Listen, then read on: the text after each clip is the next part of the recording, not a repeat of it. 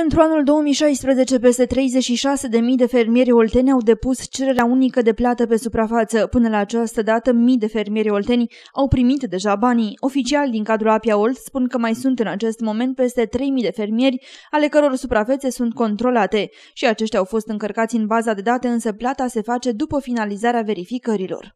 Din păcate, la un eșantion de control foarte mare de 120.000 de hectare și uh, în jur de 3.500 de fermieri, am primit un eșantion suplimentar de control prin teledetecție care uh, face ca suprafața județului, suprafața controlată a județului să fie undeva la 155.000 de hectare.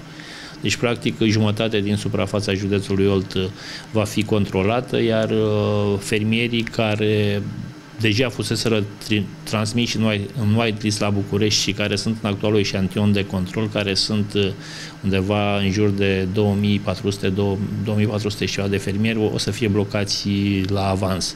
Pentru campania de depunere a cererii unice de plată pe suprafața 2016 a fost stabilit și eșantionul de control. În Olt, peste 100.000 de hectare vor fi verificate clasic sau prin teledetecție, o suprafață ce reprezintă aproape 30% din totalul declarat.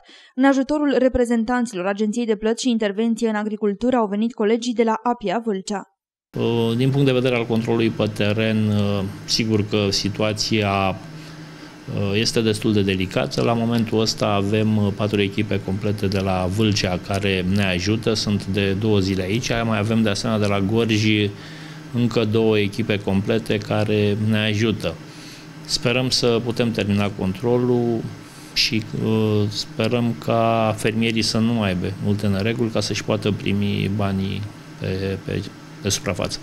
Reprezentanții Apia Olt spun că avansul va ajunge la toți fermierii până cel târziu la finele lunii noiembrie, jumătatea lunii decembrie. Cât despre cea de-a doua tranșă, aceasta va intra în conturile beneficiarilor, cel mai probabil din luna februarie 2017. Pentru schema unică de plată, campania 2016, suma totală autorizată este de aproape 130 de milioane de euro, bani ce vor ajunge la peste 154.000 de fermieri din întreaga țară.